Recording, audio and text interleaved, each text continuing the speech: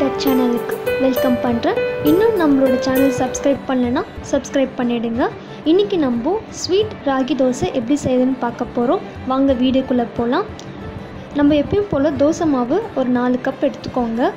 அதில் வந்து ஒரு அரை கப் அளவுக்கு நீங்கள் கேழ்வரகு மாவை ஆட் பண்ணிக்கோங்க. ஆட் பண்ணி நல்லா மிக்ஸ் பண்ணுங்கள் அந்த தோசை மாவு பக்கத்துக்கு வர்ற வரைக்கும் நீங்கள் தண்ணி சேர்த்து மிக்ஸ் பண்ணி விட்டுக்கோங்க.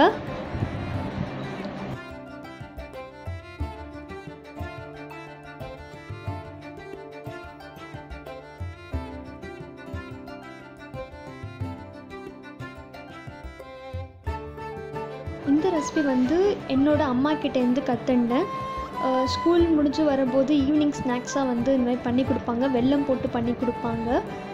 இது ரொம்ப ஹெல்த்தி நம்மளுக்கு. ட்ரை பண்ணி பாருங்கள் ஸோ இப்போ நம்ம தோசை வந்து வாக்கலாம்.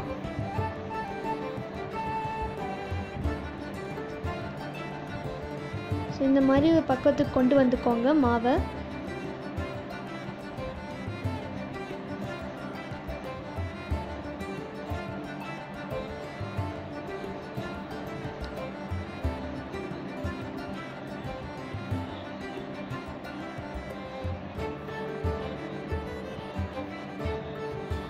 ஸோ கொஞ்சோண்டு வெல்லம் பொடி பண்ணி வச்சுக்கோங்க. கொஞ்சம் ஒன்று ரெண்டு பெருசாக இருந்தால் பிரச்சனை கிடையாது. அடுப்பில் வந்து ஃப்ளேம் வந்து லோ ஃப்ளேமுக்கு கொண்டு வந்துக்கோங்க இப்போது இப்போ வந்து நம்ம வெள்ளத்தை வந்து தோசை மேலே போடலாம்.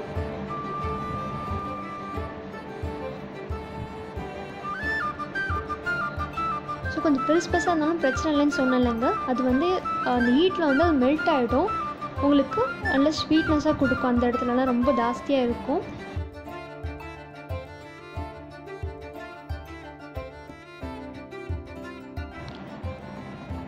இப்போ நம்ம வந்து ஒரு டீஸ்பூன் அளவுக்கு வந்து நெய் விட்டுக்கலாம்.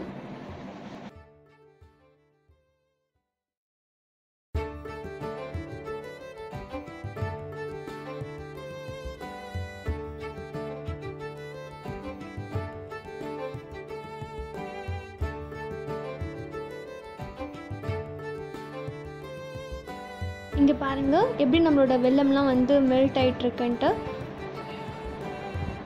ஸோ அது உங்களுக்கு எப்படி வந்து இந்த தோசை வெந்துச்சுன்னு தெ தெரியணும்னா சைட்லாம் அதுவே வந்து லைட்டாக எடுக்க வந்துடும். ஸோ அப்போ நீங்கள் வந்து அப்படியே க்ளோஸ் பண்ணி நம்ம வந்து சர்வ் பண்ண வேண்டியதான் நீங்கள் வந்து தொட்டுக்க எதுவுமே தேவையில்லை. அப்படி வேணும்னா கொஞ்சம் வெல்லம் தொட்டு கூட சாப்பிட்லாம்.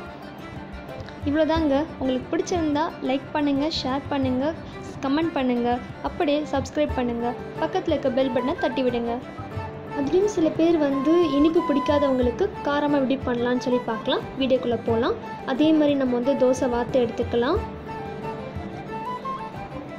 அதில் வந்து பொடியாக நறுக்கின வெங்காயம் ஆட் பண்ணிக்கோங்க. அப்புறம் நம்ம கொஞ்சோண்டு வந்து நல்லெண்ணெய் சேர்த்துக்கலாம். அப்புறம் நம்ம வீட்டில் இருக்கிற பொடி நம்ம இட்லி பொடி அரைச்சி வைப்போம்ல அந்த இட்லி பொடியை வந்து மேலே வந்து தூவி விட்டுக்கோங்க.